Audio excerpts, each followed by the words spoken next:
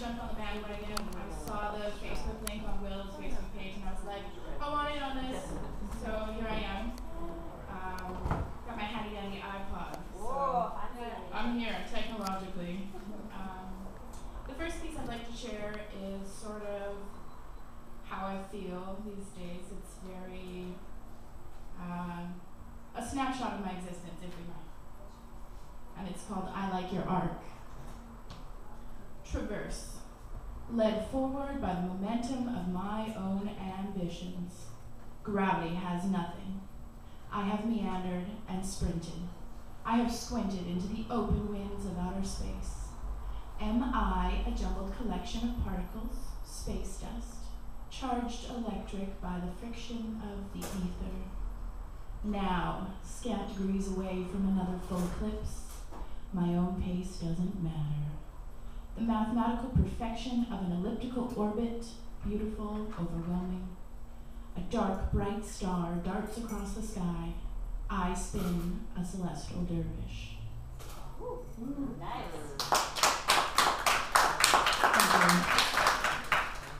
Um, sort of, okay, about two weeks ago, I just made my spoken word debut here in Vancouver. Uh, I tried out at the Erotica Poetry Slam, the Vancouver Poetry Slam. I didn't win. I didn't even make it to the second round. Uh, but this is the piece that I would have read if I made it to the second round. It's a little sexy, makes up for your lack of sex. Of, take it to the team here. Yay! All right. I'm on each knees. Now you talk. Pause. A double take. A second look. Enraptured by the cover, you had to own the book. I waited on the shelf, grinning, my mind brimming, sinning with possibility. You would lick my fingers, and I would turn the pages.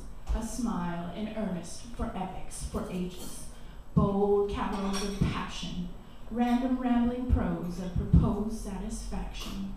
Open eyed, not shy, we read, not a thought. Seduced by the protrusion of your hip bones, I was caught. Refreshed, disarmed, seduced by your unspoken charm. My heart fluttered in delicious alarm. Ah, you smiled, my coherence torn asunder. You smiled, fire fueled this desire to be plundered. To take the tip of your pen in my mouth, to have your ink run down my face, to have your passion fill the space between my lines, to have you a part of what I yearn to find. Eloquent, your poetry, I listen, soul recovery, consonants and vowels, exclamations of discovery. And then, to define and displace, how unfortunate a disgrace that you told me not to love you once. Aside from that, I got to abide by that when I promised not to love you once.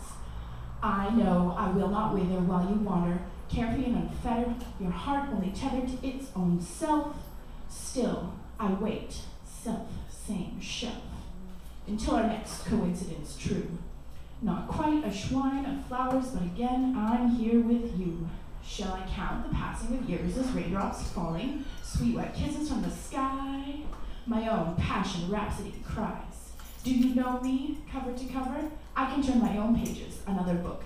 I can heap my own rages, another lover. Oh,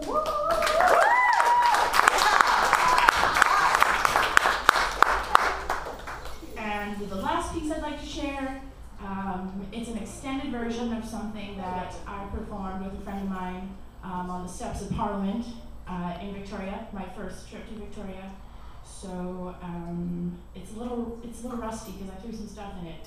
Um, so don't know very well. I'm read some of it too. Uh, it's dedicated to a whole bunch of beautiful native boys. in each moment, my own reality I create words to infiltrate. A thousand hopes for dreams encapsulated in a look, sovereignty, identity, your smiles all lost to the pages of a history book. I'd like to see you and free you and be you. What choice do I have but to live and find love? I must enjoy a bunch of days that you won't know the living of.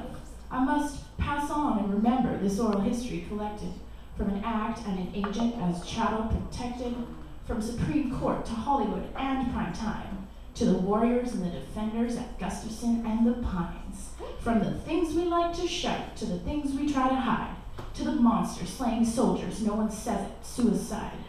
It's so commonplace, it hurts.